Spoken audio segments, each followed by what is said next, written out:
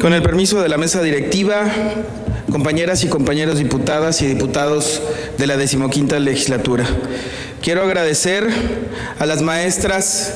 directoras y mujeres que el día de hoy nos acompañan precisamente para dar forma a este punto de acuerdo que el día de hoy estamos teniendo a consideración en esta legislatura. Bienvenidas y es un gusto tenerlas aquí en el Congreso del Estado.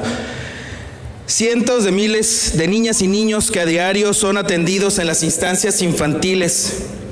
a las madres y padres que a diario utilizan ese tipo de servicios,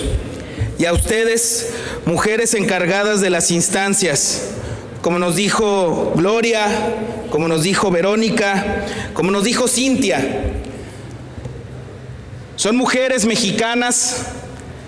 que tienen puesto no solamente lo que saben en materia de atención a los niños, sino también que con pasión, con mucho corazón, atienden no solamente en el Estado, sino en toda la República Mexicana el día de hoy a 330 mil infantes.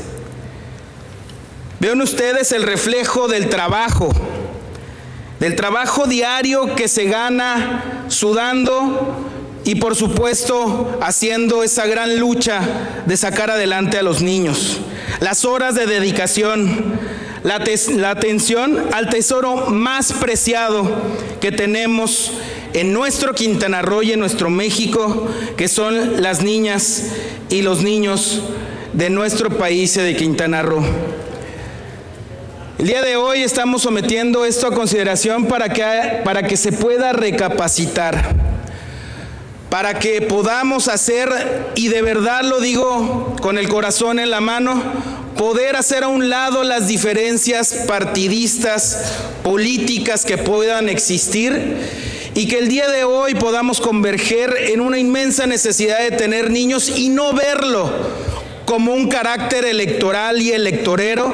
de decirles que se les van a dar 2.600 pesos de manera bimestral a los padres o a las madres para que ellos entonces decidan a dónde llevarlo, porque nos lleva muchísimos cuestionamientos, a muchísimas preguntas de que bajo qué tarjetas y quién será el administrador de ese recurso. Y por supuesto, el que no se está generando un programa que el día de hoy tiene un reconocimiento a nivel mundial de que ha exitoso y que solamente vamos a entrar de nueva cuenta a aquel ambiente clientelar de dar dinero, de dar dádivas.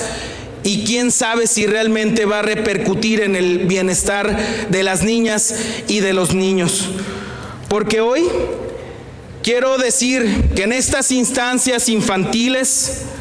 hay un buen cuidado, hay alimentación y hay una educación en esa primera instancia que es un derecho que tienen los infantes. Por eso, déjenme decirles, amigas maestras,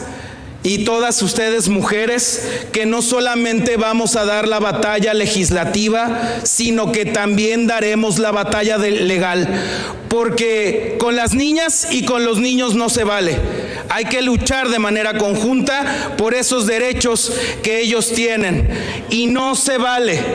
decir que las instancias infantiles son de delincuentes y que son quienes robaron al erario. Aquí hay mujeres de bien que dan de sol a sol su trabajo, su lucha y que por supuesto también sacan adelante a nuestros niños y a nuestras niñas. No están solas y vamos a dar esa batalla legislativa y también en materia judicial. Muchas gracias y son bienvenidos.